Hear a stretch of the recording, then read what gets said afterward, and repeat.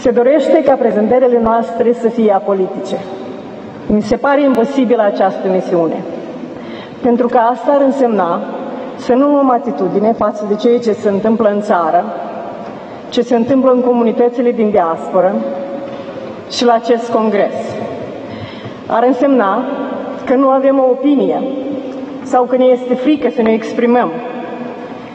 Ar însemna că nu suntem informați sau capabili de a prelucra informația și că rezervăm dreptul de a face politică doar partidelor politice și instituțiilor de stat.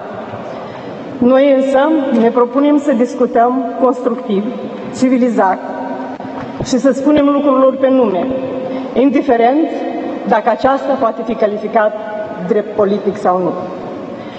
Congresul de astăzi, știm cu toții, este organizat de către guvern și a fost întotdeauna în serviciul partidului guvernant.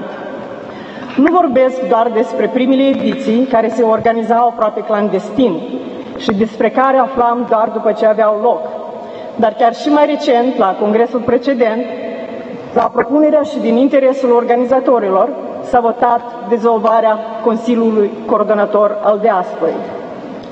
Nu știu nimic despre acest Consiliu, care probabil s-a format la fel cum s-a dezolvat, în fugă, fără ca majoritatea dintre noi să înțeleagă sau să-și dea seama ce se întâmplă, un vot ca pe timpurile sovietice, indiferent și irresponsabil.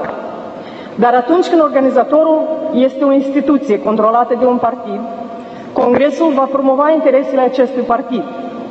De aceea vă îndemn că la Congresul actual să fim conștienți de acțiunile noastre, să nu ne lăsăm manipulați și să nu ridicăm mâna automat.